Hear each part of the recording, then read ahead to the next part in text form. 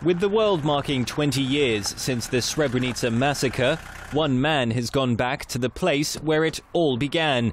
David Rohde was the first reporter to uncover mass graves, pointing to a campaign of ethnic cleansing during the Bosnian Civil War. 20 years on, he has returned to the scene to remember what he saw near Srebrenica in Bosnia. 20 years ago, the United States released spy photographs, aerial photographs of what they thought were suspected mass graves here in this village in Bosnia, in Nova Kasaba. I was a reporter then for the Christian Science Monitor, and I used a copy of those photographs to come here to Nova Kasaba and try to find the graves.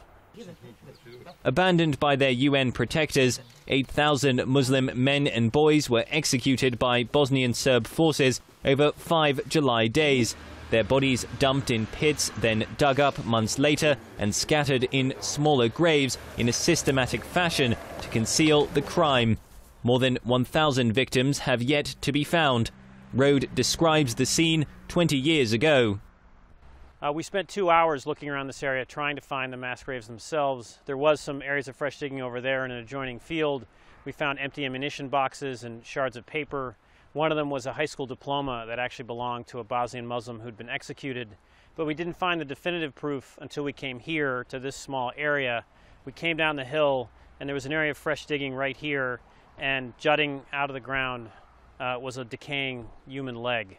There was a femur jutting into the air. A UN court has ruled the massacre was genocide.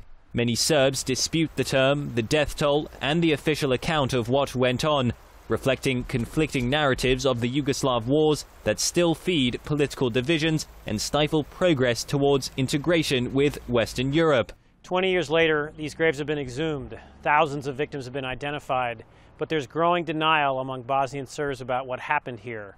Just this week, Russia vetoed a UN Security Council resolution calling the massacre here genocide. The Serbs and their Russian backers insist this was not a genocide but the proof is overwhelming. 20 years later, it's a huge disappointment to come back and still have this atrocity be debated. The bones of 136 newly identified victims were interred beneath marble gravestones in the Potokari Memorial Cemetery in eastern Bosnia over the weekend in what has become an annual ritual as the graves are gradually discovered.